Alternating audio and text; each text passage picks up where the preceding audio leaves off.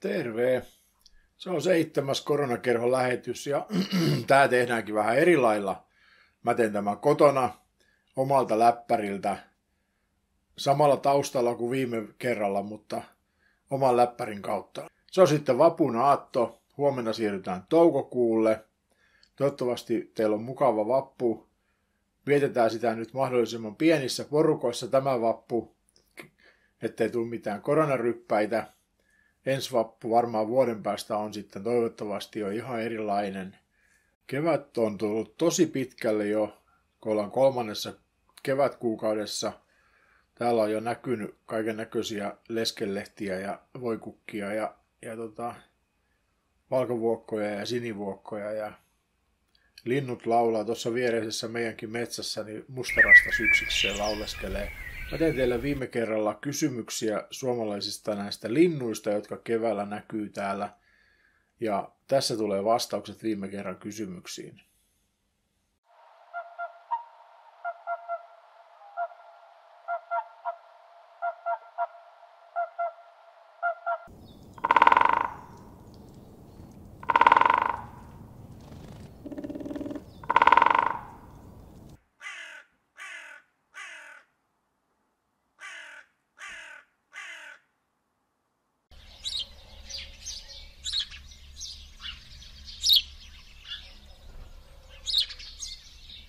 Noi, siinä oli vastauksia edellisen kerran kysymyksiin.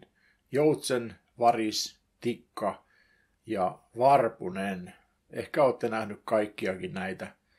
Nyt niitä voi pongailla tuolla luonnossa, kun ne tekee pesäpuuhia. Ja viime kesänä saatiin seurailla yhden lintu pariskunnan perheen touhuja ja vartioitiin sitä niin paljon, että pistettiin siihen aita ympärille, ettei meidän koirat hyökkää niiden lintujen kimppuun. Aika hyvin saatiin suojattua, koska sitten yhtenä päivänä ne oli tyhjä se pesä, eli sieltä oli poikaset lähtenyt jo lentoon.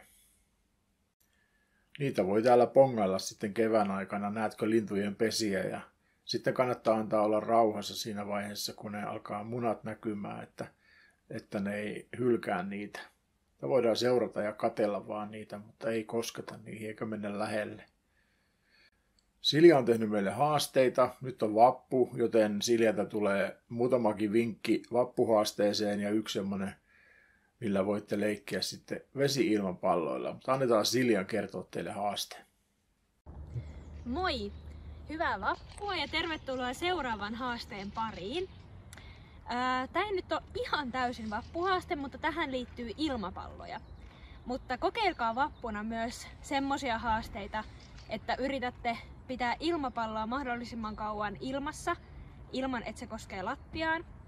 Tai yritätte syödä mahdollisimman monta munkkia ilman, että nuolasette huulianne. Mutta tämä tämän päivän haaste on sellainen, että mä oon täyttänyt ilmapalloja vedellä. Ja nyt mä koitan heittää niitä ämpäriin ja mä oon mitannut tähän noin 2 metriä, 3 metriä, 4 metriä ja 5 metriä. Ja katsotaan kuinka kauan mä pystyn, kuinka kaukaa mä pystyn heittämään ilmapallon tonne ämpäriin. Aloitetaan.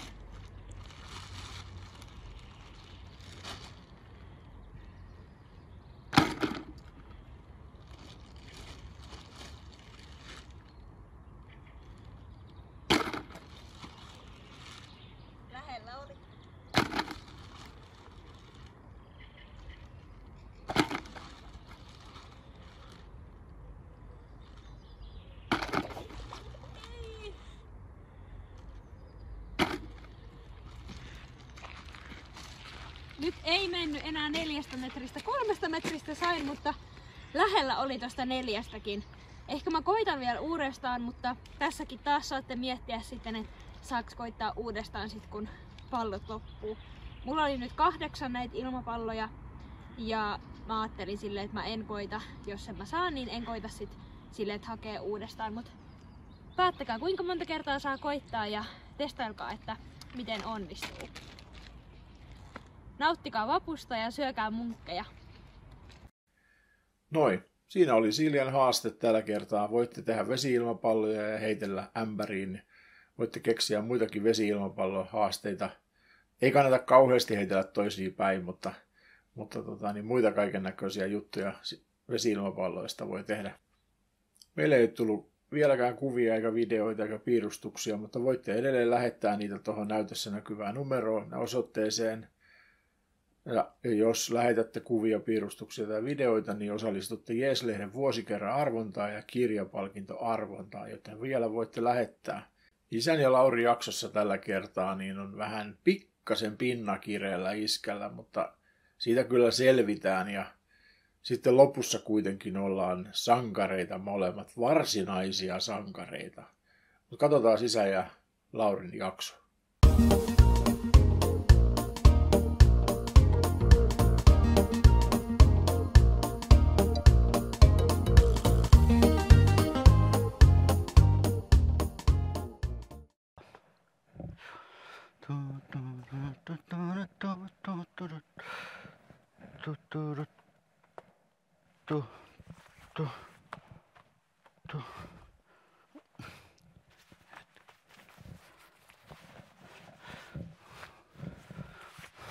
Voi ei.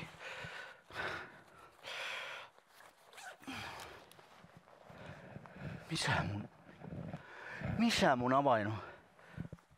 Oi, se on siellä kotona. Voi ei, nyt mä joudun soittaa isään tänne avaamaan. No niin, hei Lauri. Ai, Tää, moi. täällä sä siis olet, sulla jäi avaimet kotiin vai? joo, jäi, joo. No hei, mä ehdottaisin, että saattaisit tämmöisen avain, avainjutun, mikä saa vyölenkkiin kiinni niin jatkos, niin ei sit tota, niin avaimet häviä, kato. Ne on aina taskus tällä hienosti. Tommonen. Etkä Niin, sä luule, että tommos. Toi vanhojen ukkojen systeemi. Niin, mutta tää auttaa siinä. Mulla on kuule niin monta kertaa jäänyt avaimet pois ja no avaimet ei mul, ei mul vaan paljon. Tää No, nyt mut- on Mä joudun nyt tulee kuitenkin kesken päivää töistä. Sä saat tästä avaimet, menet sisälle, tää homma järjestyy, mutta mun täytyy nyt lähteä takas töihin. Mä tuun vähän myöhemmin sit tota, niin tänään, että mä en ole ihan samaan aikaan, kun mä joudun nyt käymään täällä. Joo, Me nähdään. joo. Voi, voi että. Nyt isi joutuu olemaan kauemmin töissä ja sitten se ehdotti tämmöistä. Eihän, eihän nuorukaiset, kaikki nauraa mulle, jos mä pidän tämmöistä. Hei, mulla on tämmönen just jo. Hm. Eikä se tykkää musta enää niin paljon. Se luulee, että mä oon joku semmonen unhottaja ja en mä välitä asioista, en mä huolehdi mistä. Se ajattelee musta...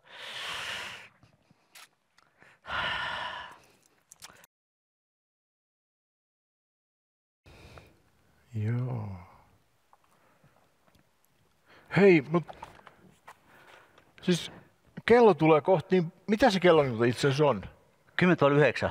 Niin yhdeksät menee kauppa kiinni. Joo, niin menee. Tiedätkö Lauri, mulla ei ole aamuksi kahvimaitoa ollenkaan.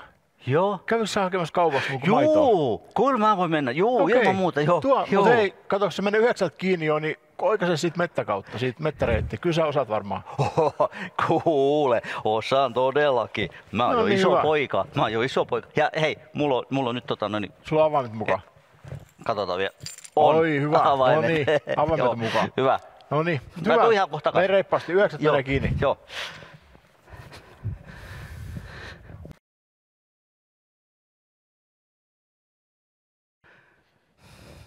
Mutta,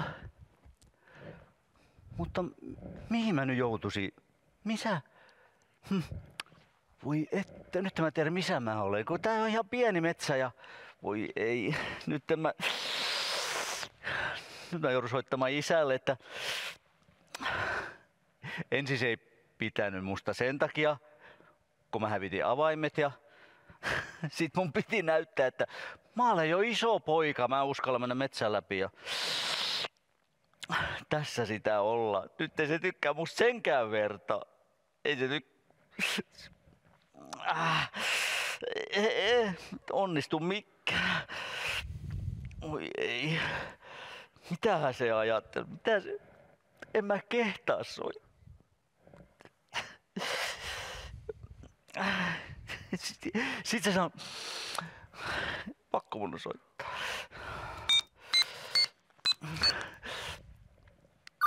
Voi, mitäs, mitä? Iskä? No, Lauri tässä.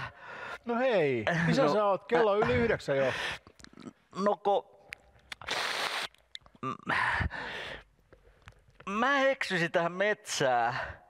Ihan totta. Joo. Siihen meidän lähimetsään. Tää on niin nolo. Eihän se nyt nolo ole. No, Oh. hei, sovitaan nyt ihan rauhallisesti.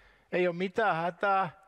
Nyt pysyt siinä paikassa, missä sä olet. Mulla on semmonen, semmonen tota, niin, juttu, että mä pystyn paikallistamaan sun puhelimen. Tuot ihan rauhassa, mä tulen ihan kohta. Ihan rauhassa, ei mitään hätää.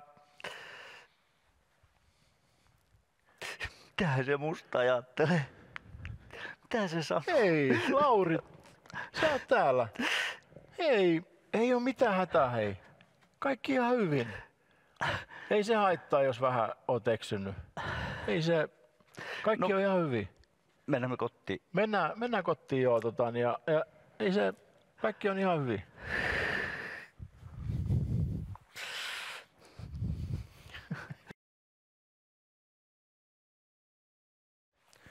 No niin hei, nyt päästiin kotiin. Joo. Sä osaat Hyvä. varmaan sen reitin seuraavalla kerralla. Joo. Hyvä. Mut... Tiedätkö sä mitä? Niin? Nyt mulle ei ole avaimia mukaan. Sen verran nopeasti lähdin sua hakemaan, että nyt mulle ei ole niitä avaimia. Oi ei. No, onneksi mulla on avaimet. Mä Aa, otin niin siinä. olikin. Mä niin, muistin, mä otin näytit. siinä avaimet, Just. joo. Sulla on avaimet mukaan. No niin. Mut tiedätkö mitä iskä? No, No kun...